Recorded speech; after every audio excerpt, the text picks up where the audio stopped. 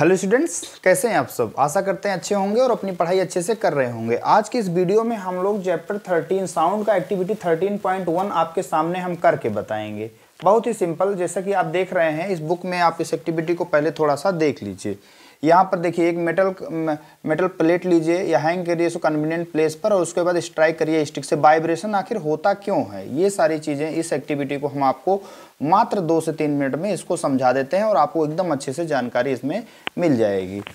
आइए, इसी बात को हम लोग समझते हैं। अगर हम इस मार्कर से या किसी भी डंडे से भी आप कह सकते हैं, अगर इसको हिट करते हैं तो देखिए, ये साउंड प्रोड्यूस हो रही है।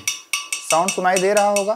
साउंड प्रोड्यूस हो रही है। आखिर ये क्यों साउंड प्रोड्यूस हो रही? यही मेन इंपॉर्टेंट इस एक्टिविटी में हम लोग समझते हैं। जब हम इससे, यानी इस मार्कर से, किसी भी डंडे से, किसी भी प्लेट पर अगर या किसी भी जैसे जो आपकी साउंड प्रोड्यूसिंग इंस्ट्रूमेंट कोई भी चीज़ हो सकती है, अगर इस पर हम लोग स्ट्राइक करते हैं, आवाज़ निकलती है तो स्टूडेंट्स एक बहुत इंपॉर्टेंट कॉन्सेप्ट इसी का ये है एक्टिविटी पॉइंट वन में, हम जब वीट करते हैं तो इस पार्टिकल्स जो इस सब्सटेंस है, इसके पार्टिकल्स में वाइब्रेशन होता है। और जब ये वाइब्रेशन होता है तो साउंड क्या होता है? प्रोड्यूस होता है। जब तक वाइब्रेशन नहीं होगा, तब तक साउंड प्रोड्यूस नहीं होगा। हम लोग गले में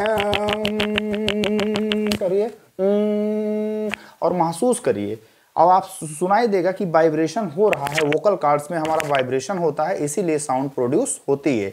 तो इस एक्टिविटी में बस और कुछ नहीं, बस वाइब्रेशन के बारे में बताया गया है। जब किसी भी प्लेट पर हम लोग किसी भी जो है, किसी भी डंडे से या किसी भी मार्कर या किसी भी चीज़ से अच्छा हाँ एक बात आपसे पूछते हैं।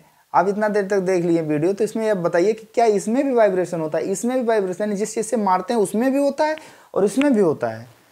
तो आप क्या बताएँगे? बिल्कुल स्टूडेंट्स आप दोनों में वाइब्रेशन होता है, यानी यहाँ पर भी वाइब्रेशन होता है और इसमें भी वाइब्रेशन होता है। दोनों चीज़ में वाइब्रेशन होता है और इस चीज़ का जो हम लोग धीरे धीरे करके अलग अलग एक्टिविटी के माध्यम से पूरी तरह से साउंड को समझा देंगे। आई होप इस एक्टिविटी को आप समझ गए होंगे कि साउंड्स अगर हम लोग बात करें साउंड क्या है, ये भी आप चीज़ समझिएगा। Sound is a form of energy which gives a sensation of hearing to our ear जो हमारे मतलब कान को सुनने के लिए आ, मतलब न्यौता देता है सुनने के लिए हमको एनर्जी देता है उसी को हम लोग कहते हैं sound sound is a form of energy which give sensation to our ear for hearing okay तो अगर आप वीडियो को अंत तक देख लिए हैं तो अगर अच्छा लगा है तो वीडियो को लाइक शेयर सब्सक्राइब भी करते रहिए ताकि हमारा मोटिवेशन भी बना रहे. Okay thank you bye bye